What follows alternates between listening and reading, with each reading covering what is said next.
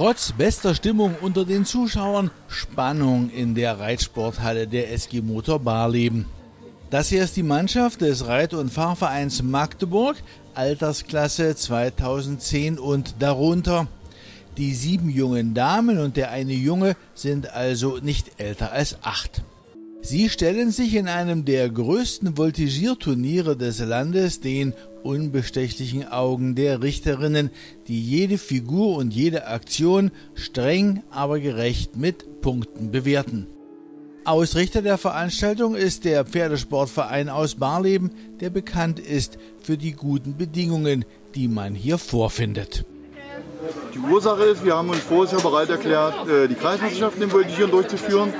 Und das ist so gut angekommen, dass wir gefragt haben, ob wir dieses Jahr auch wieder ein Turnier machen wollten. Und da haben wir gesagt, okay, wenn wir die Unterstützung von den anderen mit haben, ziehen wir das hier bei uns durch, so ein Turnier, weil das ist eine ganze Menge Arbeit ringsrum, was man so als Außenstehender gar nicht so sieht, aber es ist eben sehr viel, mit sehr vielen Helfern verbunden und alles, die ganze Aufbau, was man hier alles sieht, drinnen.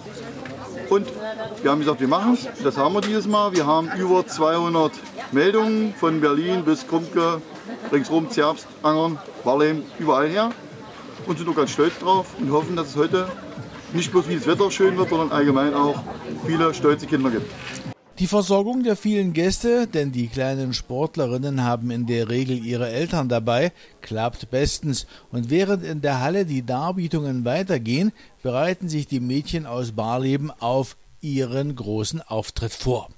Frau Kopf, Ihre Voltigiertruppe, worauf legen Sie beim Training Wert? Auf Teamgeist, auf Spaß am Turnen und auf, ja, dass es halt einfach schöne Momente sind. Und Tierliebe gehört natürlich, Natürlich, auch dazu. das ist das Allerwichtigste. Ohne Tierliebe wären sie gar nicht da. Pferdeliebe, morkeln, streicheln, kuscheln und turnen. Wie haben Sie sich auf, diesen, äh, auf dieses Turnier vorbereitet? Ähm, Training, Training, Training, Training und nochmal Training. Ja, nee, Lauftraining, dass wir das Einlaufen geübt haben, äh, die Pflicht geübt haben, die Kür geübt haben. Ein bis zweimal die Woche. So. Malia, ihr seid acht Mädchen, die beim Voltigieren mitmachen. Da will jemand auch ins, ins Bild. Was macht dir denn beim Voltigieren am meisten Spaß? Erzähl doch mal. Naja, eigentlich gibt es da nicht so viel zu reden, weil ähm, ein, eigentlich macht mir alles Spaß. Es gibt jetzt nichts, was mir nicht so viel Spaß macht. Es, es macht einfach alles Spaß. Ihr seid acht Mädchen in der Gruppe. Ja. Sind das auch acht gute Freundinnen? Ja. Ja. Ja. Na dann kann ja nichts mehr schiefgehen für die erste Teilnahme an einem so großen Wettbewerb. Die Präsentation teilt sich in eine Pflicht, mit der wird angefangen, und einer Kür, die gleich im Anschluss gezeigt wird. Hier Ausschnitte aus dem Programm, an dem die Mädchen lange gearbeitet haben.